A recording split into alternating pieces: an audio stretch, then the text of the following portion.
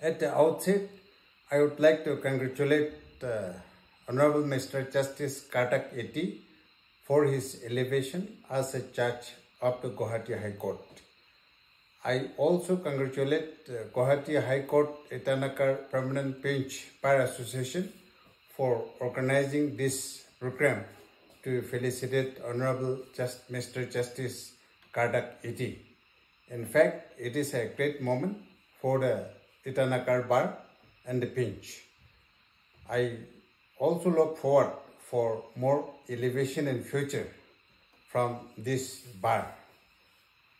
I met Justice Kardak Ete during his visit to Kohima in the month of April and in fact it was a good time for Justice Kardak Ete because we were planting trees in the new High Court complex and Honorable Mr. Justice Kardak Ete has also planted a tree which is an Australian pine and the tree is growing very well.